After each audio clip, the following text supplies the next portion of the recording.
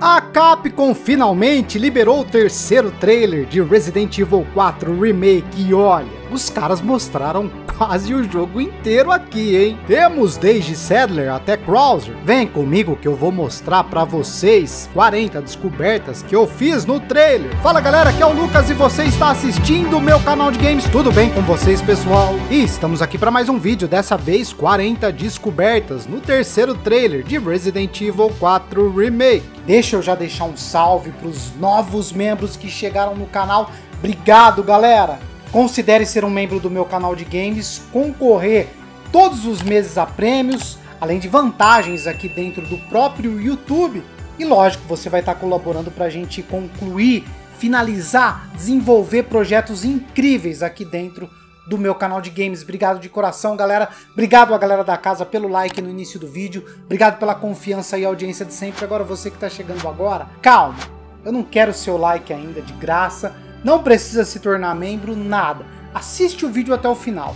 Se você gostar e sim lá no final você deixa seu like, aproveita, não esquece de se inscrever e ativar o seu sininho das notificações para os próximos vídeos. Para começar, o trailer abre com o Sadler falando que todos estão ligados a um tal de corpo sagrado. E detalhe que ele já tinha citado esse mesmo corpo sagrado em outros trailers. Mas a questão que fica é, quem ou o que seria esse corpo sagrado? Julgando pelo fato de que no jogo original o plano dele era infectar Ashley e depois controlar ela nos Estados Unidos, pode ser que aqui também seja ela. Sem contar também que a gente pode ver o corpo dela em cima de um altar, bem aqui no cantinho da tela. Então provavelmente ele está se referindo a ela mesmo. Depois disso, vemos o Leon andando em uma espécie de esgoto ou caverna bem escura, e por terem esses espinhos com vários crânios e corpos fincados, é bem possível que seja a área dos esgotos do castelo, onde somos perseguidos pelo Verdugo. E falando em Verdugo, infelizmente ele não foi mostrado em game nesse trailer aqui. Vamos ter que esperar mais um pouco. Em seguida, vemos aquela plaga que é uma espécie de aranha nascendo em um dos monges do castelo, mas o diferencial aqui é que ele corre muito rápido quando essa plaga nasce nas costas dele. E se a gente reparar bem, esse cenário aqui do castelo, com essa iluminação entrando pelas janelas, galera, lembra bastante o Resident Evil 3.5 que claramente é uma das fortes inspirações para esse remake aqui. Além disso, também podemos notar que o Leon tá com uma espécie de colete. A gente consegue ver até o ícone aqui do lado da barra de vida dele.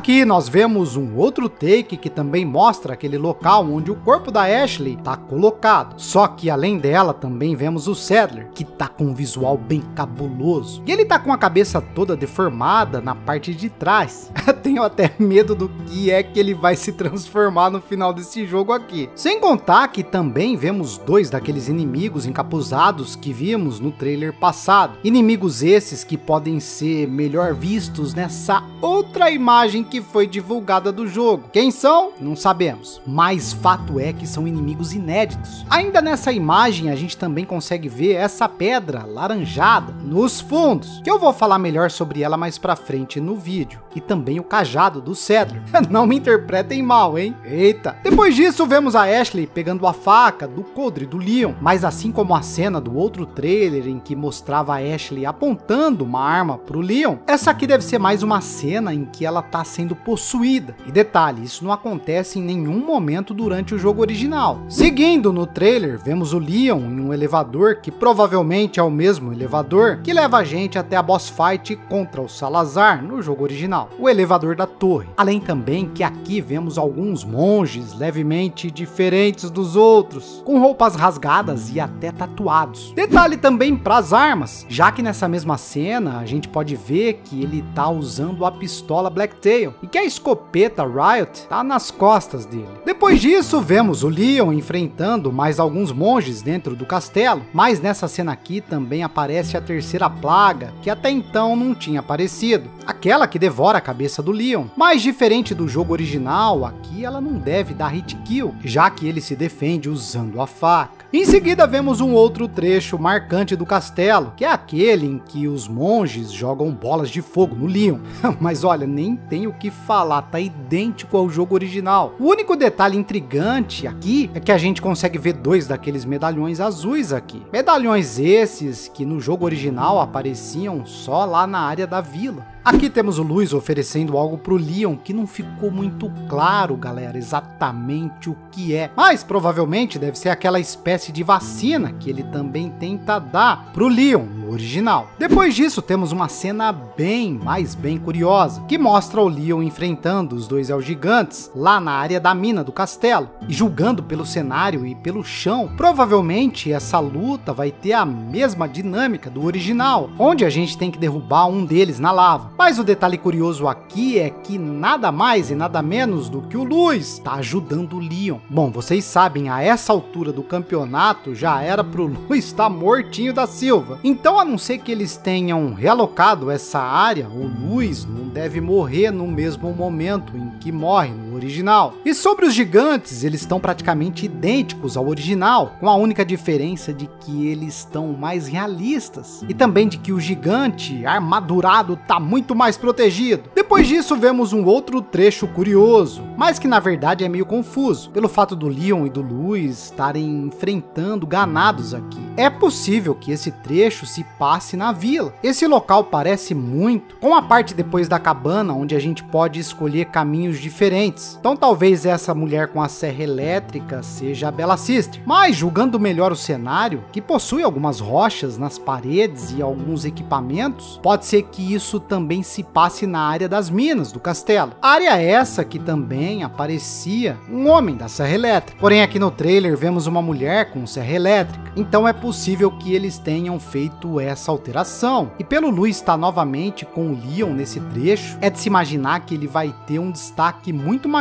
no remake, tanto na história, mas também como um compênio. Em seguida vemos o momento em que todos queriam ver o suposto personagem cortado do remake. Nada mais e nada menos do que o Krauser, que por sinal tá literalmente idêntico ao Krauser do jogo original. Eu gostei. De todos os personagens, ele com certeza é um dos que tá mais parecido, sem dúvidas. E sobre a lore entre o Leon e o Krauser, ela aparentemente vai ser a mesma também. Além disso, também temos essa outra imagem oficial do Krauser, que mostra ele com aquela pintura de guerra que ele usa no rosto durante a boss fight. A gente consegue ver inclusive uma foto do Leon do Resident Evil 2 com uma faca espetada, mostrando que o Krauser talvez já tivesse de olho no Leon há um tempo. Bom, se a gente reparar na faca dele, ela também tá literalmente igual à faca do original. Assim como a faca do Leon tá igual à faca que o Marvin dá para ele no Resident Evil 2 Remake. Os caras capricharam. Agora temos um detalhe muito importante sobre a história do jogo. E quando eu digo muito, é muito mesmo, hein? Eu não sei se a Capcom foi capaz de deixar esse detalhe vazar no trailer. Então já deixo vocês avisados de que esse detalhe aqui contém um spoiler spoiler muito grande. E por mais que esse jogo seja um remake, a gente teoricamente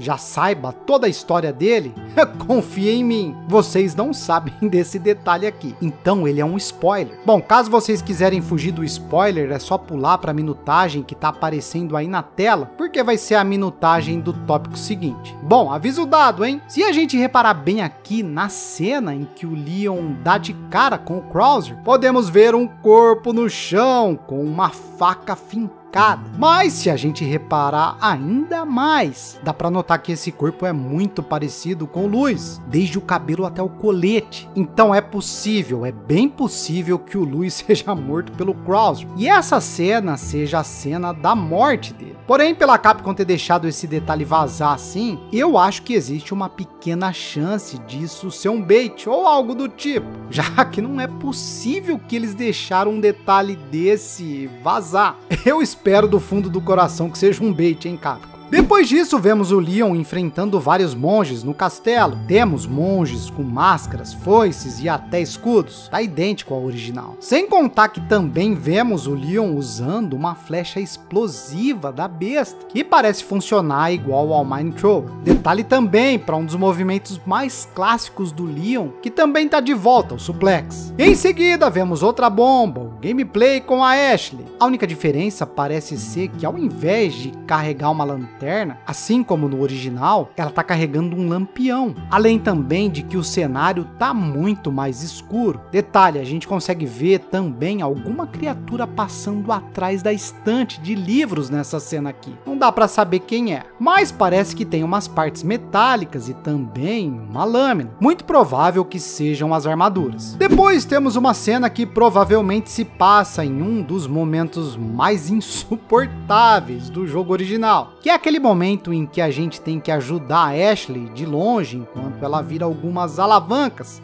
dentro do castelo. Impossível você não dizer que esse trecho era insuportável. Além também que temos um monge jogando uma foice na direção do Leon. Mas como agora a gente tem a opção de agachar, a gente pode simplesmente desviar dela. Em seguida, vemos o Luiz fazendo uma referência a Don Quixote, citando o Sancho Panza e até a princesa Dulcinea. Que livro maravilhoso Don Quixote, galera, eu recomendo para qualquer um. Bom, ele aparentemente vai ser uma espécie de alívio cômico no jogo. Aqui, finalmente a gente vê um trecho na ilha. E para infelicidade de alguns, ainda vai rolar aqueles tiroteios cabulosos contra os ganados, com direito a torreta montada, bazuca e até helicóptero. Uma verdadeira guerra, hein? E caso você não tenha notado, o ganado com bazuca, ele é esse aqui que é metralhado pelo helicóptero. E falando em helicóptero, aqui também temos o Mike, que foi confirmado recentemente que ele terá mais aparições durante o remake. Outro detalhe a se notar aqui é que o Leon tá com uma arma inédita que não tem no jogo original. Não dá para dizer exatamente qual arma é, mas parece ser uma espécie de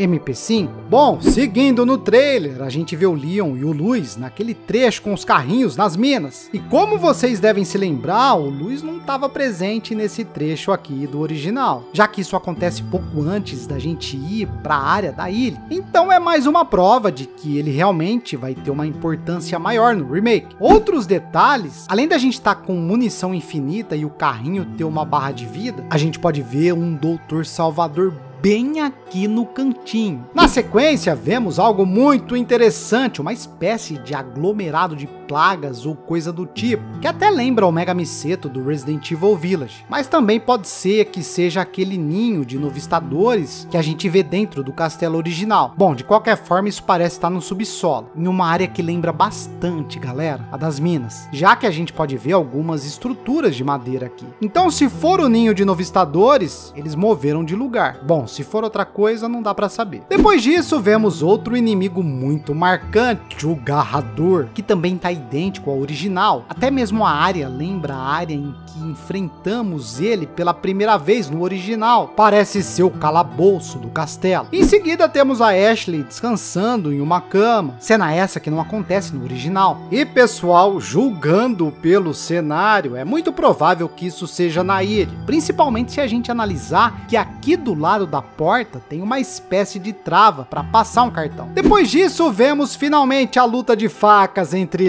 Leon e Krauser. Que momento! E assim como eles já haviam falado, a luta agora vai acontecer em game e não em uma cutscene. Eu confesso para vocês que eu achei bem interessante essa alteração que eles fizeram. Parece que vai ficar bem da hora, hein? Bom, aproveitando que a gente tá falando sobre o Krauser, vale destacar que a trilha sonora desse trailer provavelmente é a trilha sonora da boss fight contra o Krauser já que ela tá bem parecida com a do original, ao mesmo tempo que tem algumas leves mudanças, é verdade. Voltando pro trailer, aqui nós vemos novamente aquela espécie de pedra laranjada, mas se a gente der uma boa olhada, dá para notar que tem várias plagas dentro dessa pedra, o que significa que isso provavelmente deve ser uma espécie de fóssil das plagas, assim como os fósseis de plagas que foram achados abaixo do castelo no jogo original, muito interessante. Na sequência, temos finalmente uma rápida cena da Ada, que até o momento não tá tendo muito destaque no marketing do jogo. A gente ainda não sabe se o Separate Ways tá presente no jogo. Eu chutaria que deve vir futuramente como uma DLC paga, quem sabe? Depois disso, temos uma cena do Leon lutando contra a plaga dentro do seu corpo. Cena essa que provavelmente se passa naquele mesmo cenário lá do início do trailer, onde o corpo da Ashley estava em cima de um altar. Depois temos a revelação de mais um inimigo, o Novistador, que também tá igual ao original. O pessoal que queria um jogo fiel realmente não tem o que reclamar aqui, meu. Bom, vamos lá, galera. Se não me falha a memória, os únicos dois inimigos que faltam ser mostrados agora são o Regenerator e o JJ. Mas tiver algum outro, vocês podem citar aí nos comentários com certeza. Para finalizar o trailer, temos uma cena do Leon levando a Ashley até uma sala que provavelmente é a sala na qual eles se curam lá no jogo original. Vale destacar aqui que se a gente reparar no rosto dos dois, os dois estão cheios de veias, o que significa que eles realmente estão no limite, quase cedendo às plagas. Aliás, um detalhe muito importante para a gente analisar a ordem dos acontecimentos e das cenas, a Ashley aparece com duas roupas diferentes. Em alguns momentos ela tá só com essa regata, enquanto na maioria ela tá com casaco também. Então, todas essas cenas que ela tá de regata, provavelmente devem se passar bem no finalzinho do jogo. Exemplos de cenas em que ela tá de regata são a cena em que ela tá deitada na cama, a cena em que o Leon tá carregando ela, a cena em que ela tá em cima do altar e também a cena do outro trailer em que ela mira uma arma pro Leon. Bom, além do trailer, também tivemos a confirmação de que o jogo terá sim um modo mercenários. Amém, Cap? Mas, de acordo com os caras, ele não vai ser liberado junto com o jogo. Ele vai ser lançado só depois do lançamento e como uma DLC grátis, para nossa nostalgia, claro. Obrigado. E sobre a demo, eles confirmaram que em breve a gente vai ter uma demo especial, que por enquanto não dá para saber exatamente do que se trata. Mas é uma demo, tá valendo. Deve ser no estilo do Resident Evil 2, do Resident Evil Village. Por fim, também vale citar que recentemente a Capcom confirmou pelo Twitter que o modo para VR 2 do jogo começou a ser desenvolvido e também será uma DLC grátis, que massa. Só não ficou muito claro se eles vão adaptar toda a campanha para o modo VR ou se isso vai ser apenas um modo extra. Vamos ter que esperar para descobrir. Deixa eu fazer uma pergunta para vocês. O que vocês acharam do terceiro trailer de Resident Evil 4 Remake? Obrigado a galera que tá comprando uma mensagem através do Valeu Demais. Com a nova função do YouTube, todas as respostas através do Valeu Demais, agora eu consigo